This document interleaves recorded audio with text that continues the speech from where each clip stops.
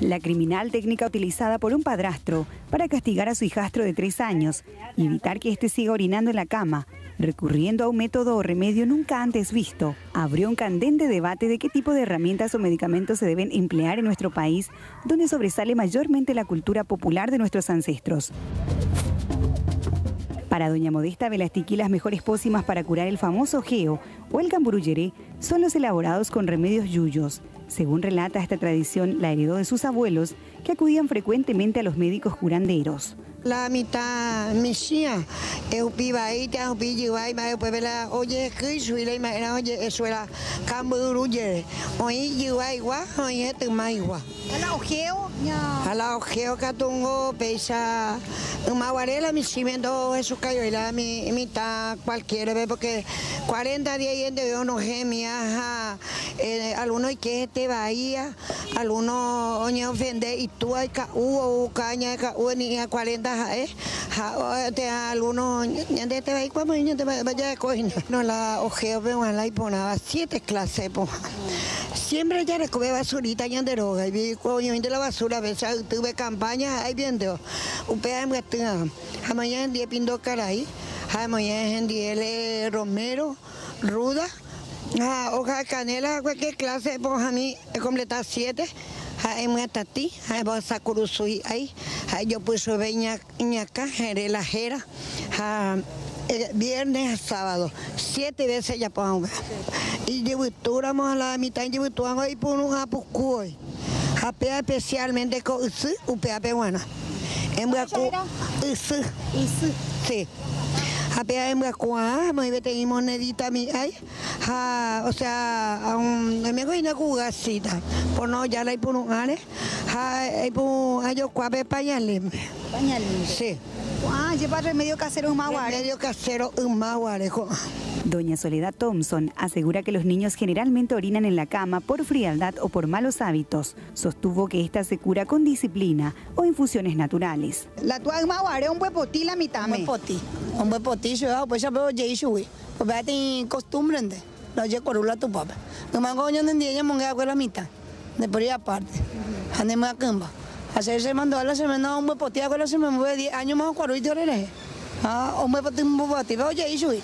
Ahí que tú ahí un samba. Ahí lo que ya no pues no un samba. Un samba y que tú ya pues manzanilla, alcanflor, paso de verla a mí. En Bocoño ni ella pues tiene pasta. Ahí pues un buen entre Otras vendedoras nos relataron la manera de elaborar remedios caseros sin necesidad de ir al consultorio. O el que hace el magua de verdad. Cuando hemos hizo café pañal o cuaru una vez, dos veces, tres veces, cuatro veces. O sango, bebe y ese bebe o monon samba. La be manzanilla muy pepa y la be misimi be la aceite. Ambos se ribona. Ha peisa peisa de bakura bakura serobe. Ha de pisi baita se la hamba y pila humbura de yo kwa completo y te. Ha, ya pues haremos mua. Todas estas creencias son frecuentemente tenidas en cuenta a la hora de buscar alternativas de curación, especialmente en niños y adultos mayores. Sin embargo, para los especialistas, algunas de estas no son efectivas y otras podrían ocasionar más daños en la salud del paciente. Medicamentos medicinales que no se puede dosificar, ¿verdad? Pero sí son útiles en caso de catarro, por ejemplo. Eh, bien utilizados, sobre todo las mamás que tienen experiencia las utilizan de muy buena forma. Como siempre digo, no hay que pelearse con esa, ni estar en contra directamente de esas medidas, sino que orientarle a la mamá en las que pueden ayudar y, y ser prudentes en otras que, en las que vemos que no ayudan, ¿verdad? La ignorancia asociada a la pobreza hace que muchos padres adopten prácticas que en vez de curar, deriven en consecuencias nefastas para la salud de sus niños. La fiebre del oro es permanente en Paso Yoa y muchos pobladores de la zona se dedican a la explotación de este mineral, pero más bien de manera artesanal. Sin embargo, hay una empresa que sí tiene habilitación oficial. Cierto sector de aquella población no está precisamente de acuerdo con esta licenciataria.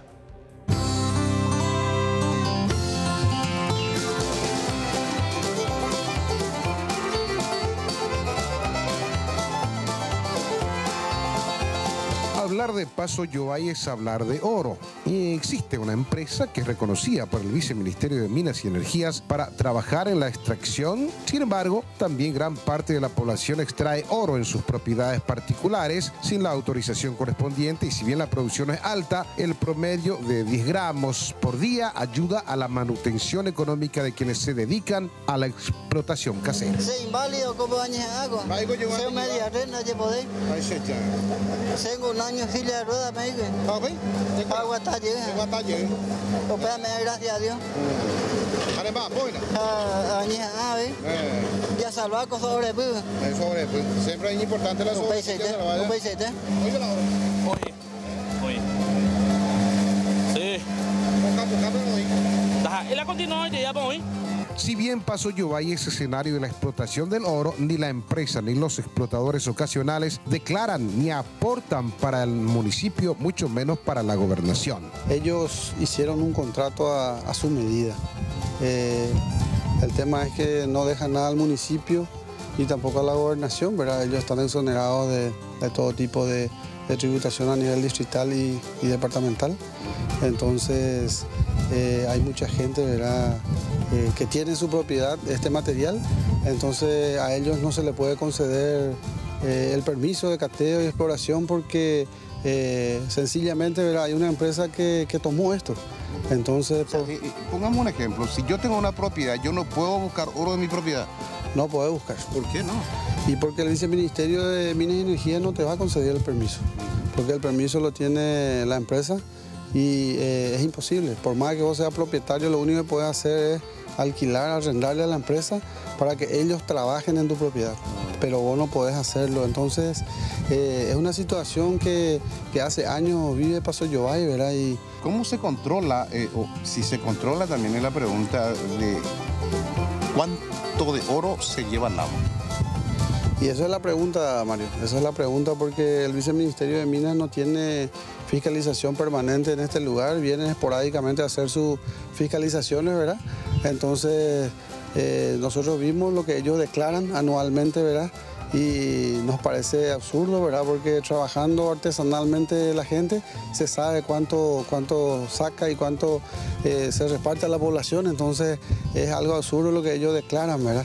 Y el viceministerio eh, en ese sentido eh, solamente ellos tienen acceso a la fiscalización, el municipio como tal no tiene ningún, nada de, ningún personal ahí trabajando con ellos para la fiscalización. ¿Por qué vía sale del país el oro que es procesado por LAMPA?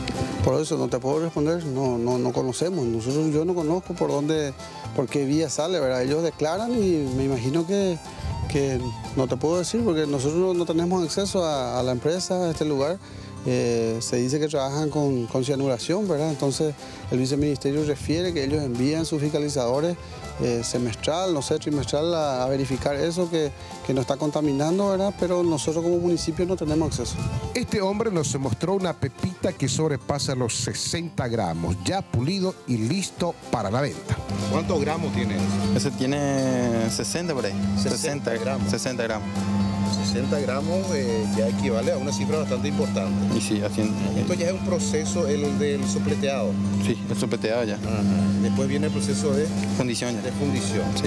Bueno, ¿y esto finalmente dónde va a parar? ¿La joyería? Y sí, así vienen, vendemos así en la joyería, en... así únicamente no. ¿Esto en cuánto está evaluado? Y está evaluado a 160, 70 el, el gramo. El gramo. El gramo. Ya es una cifra importante. ¿eh? La verdad que sí. ¿Cuánto más o menos costaría? Y 50, 50 gramos estaría como 7, 8 millones. 7, 8 millones. Sí. Pero para tener esto es mucho trabajo también. Y sí, trabajo de, de, de, de varios días ya, digamos un día, dos días. En los próximos días se anuncia una manifestación de los lugareños contra la empresa Lampa, solicitando al Estado no renovar el contrato de concesión de la explotación del oro en Paso Yobay.